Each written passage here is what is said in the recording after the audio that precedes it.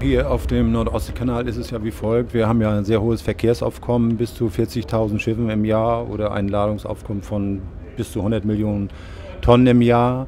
Und äh, aufgrund dieser Verkehrsdichte und des engen Reviers ist es natürlich erforderlich, dass man, ich sag mal, so eine Art Spezialisten hier hat. Und äh, das sind wir, würde ich mal sagen, vom Verein der Kanalsteuerer, also ein Verein von ehemaligen Schiffsoffizieren und Kapitänen, die aufgrund ihrer besonderen Ausbildung äh, befähigt sind, Schiffe durch den Nordostseekanal zu fahren.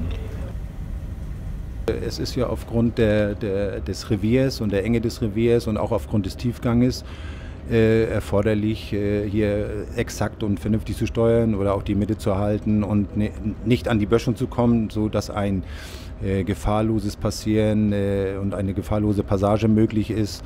Kommen wir zu dicht an die Böschung, setzt das Schiff gegebenenfalls ab. Das sind also physikalische Gegebenheiten, die dann in dem Moment eine Rolle spielen. Hat das Schiff einen Tiefgang von 9 Metern und man kommt zu dicht an die Böschung, dann äh, entstehen eben Drücke, die das Schiff letztendlich vielleicht zum Stranden bringen könnten. Und um das zu verhindern, sind wir eben da.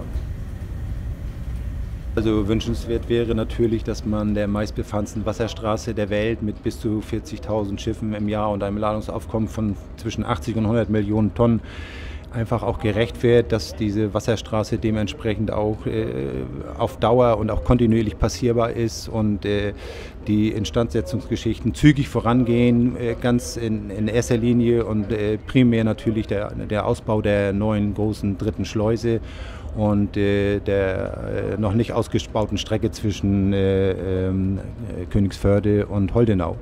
Das wäre natürlich schön und in dem Fall dementsprechend Verkehrsaufkommen gerecht zu werden. Thank you.